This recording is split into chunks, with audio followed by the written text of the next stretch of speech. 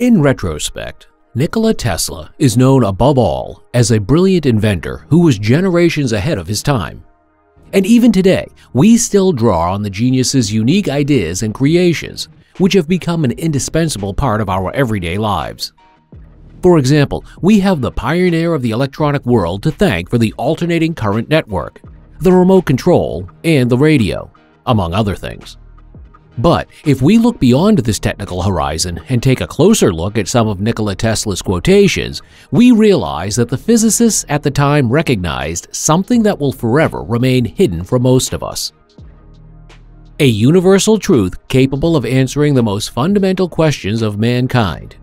Where do we come from? What is the meaning of life? Is there a divine creator? Together with you today, we would like to see what Nikola Tesla had to say about these fundamental issues. Do you want to broaden your horizons and get to know new, exciting perspectives? Then hit the like and subscribe buttons and be sure to watch our video all the way to the end. In the beginning was sound. If you want to find the secrets of the universe, think in terms of energy, frequency, and vibration. This short statement from Nikola Tesla already gives a deep insight into the worldview of the genius. But what is hidden behind these words? What insights can be gained from them? And how can we apply them to our everyday lives? Well, basically, it means nothing else than that everything that exists turns and vibrates. Everything has its own main resonance frequency. From the atom over a bacterium up to banal things like a soccer field, we are able to manipulate every object about its resonant frequency. In the first chapter of the Gospel of John, we read, In the beginning was the Word. The Word was with God, and the Word was God Himself. In Hinduism, the sound of creation is again described as Om, while the ancient Egyptians believed the universe came into being in the context of a song. And while these religious beliefs differ drastically in many ways, we find other exciting points of intersection among them.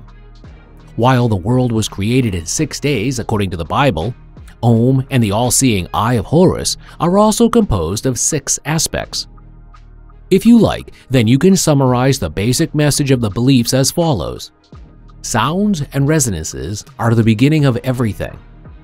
Furthermore, many experts have shown us that sounds also manifest themselves in physical form.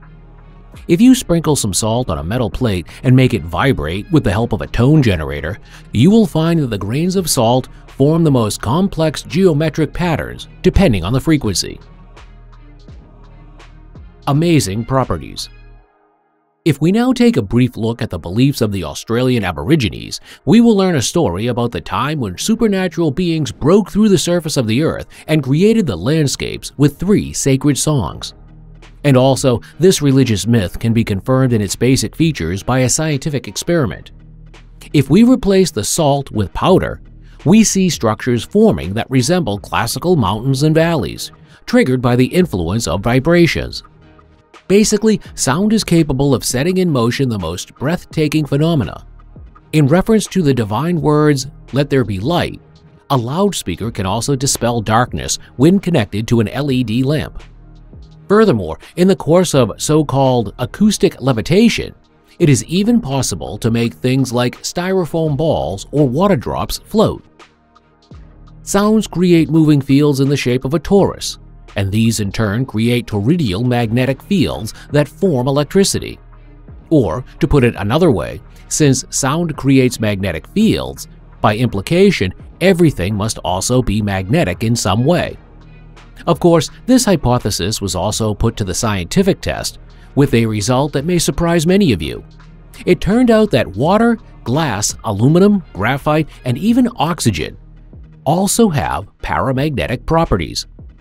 In the world of researchers, the term paramagnetism describes the magnetic behavior of a material that is exposed to the influence of an external magnetic field. As we all know, Tesla was also known for getting his own way and sometimes taking extremely unconventional paths.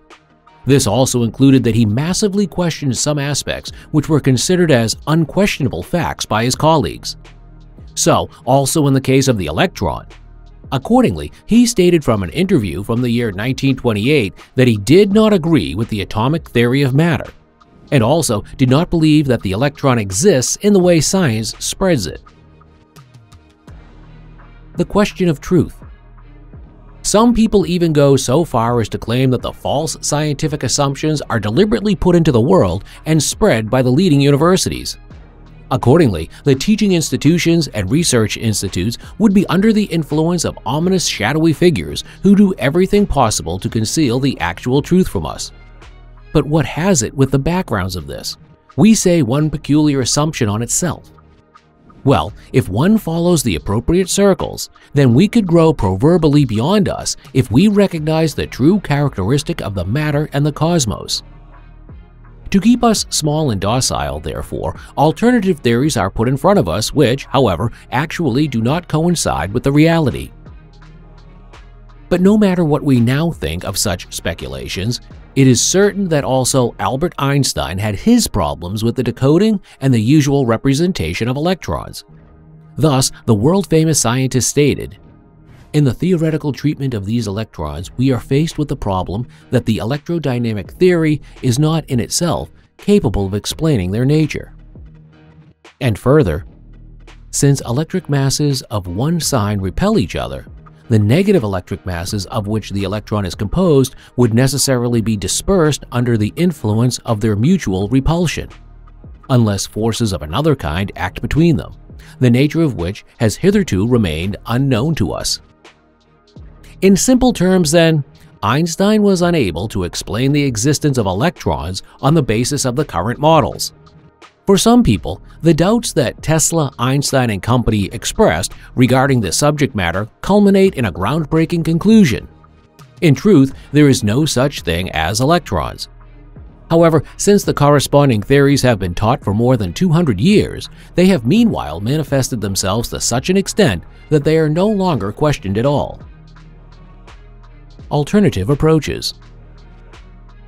But once assumed that sounds and magnetism are really capable to appear as natural or divine, creators to appear, how can this be proven?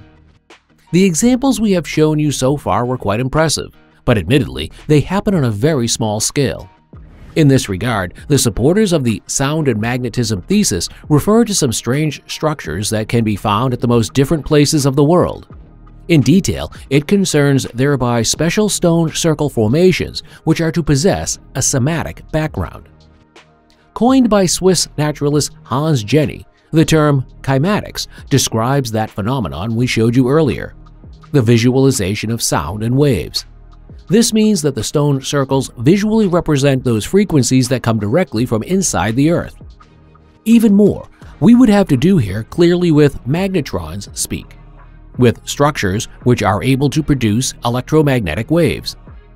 Given that the structures have diameters of 40 meters, each of these objects would be capable of generating more energy than all the power plants on Earth put together. And indeed, not only a few of these flower-shaped stone circles were to be tracked down. No, thousands of such structures adorn the landscape in southern Africa. The supposedly most powerful structure is located in South Africa and goes by the name Adam's Calendar after the 30-meter stone circle was discovered by a pilot in the Mpumalanga region in 2003. It hit the headlines when author Michael Tellinger claimed it was the oldest man-made structure, built, moreover, by a vanished civilization. Officially, however, the true age and original purpose of the stone ring are unknown. Ancient megatechnologies the fact that the people of the past millennia always used stone to build their monumental structures from the ground had a higher meaning, of which we understand little today. At least that is what the corresponding assumptions say. According to this, our ancestors knew exactly what unique abilities were inherent in this material, since it served as a source of energy and an information carrier. Applied to the world-famous pyramids of Giza, this means that the structures were by no means colossal tombs of pharaohs, by gigantic machines that fulfilled a previously unknown function. Supplied with the necessary energy by the sound of the earth and activated by the movement of the sun, the pyramids would have surpassed our modern achievements in all conceivable points. The same, meanwhile, would apply to structures such as obelisks, temples, and the mysterious Stonehenge. This would already become clear if we compare the arrangement of these structures with that of our modern computer chips and circuits. Thus, the peoples of antiquity made use of the same principles, but on a much larger scale. While Sacsayhuamán in Peru is commonly interpreted as a former fortification, in reality, the site embodied nothing more than an oversized circuit board. So guys, now we are curious about your opinion. What do you think about the theories and assumptions that we have presented to you today? Are they absolute nonsense, or did the hypotheses have a kernel of truth in the end? Write us your thoughts, your suggestions, and your feedback to our today's video, nevertheless, as usual, quite simply below in the comments. Don't forget to give us a thumbs up and a subscription to stay up to date from now on. And with that, thanks for watching. Take care and see you next time.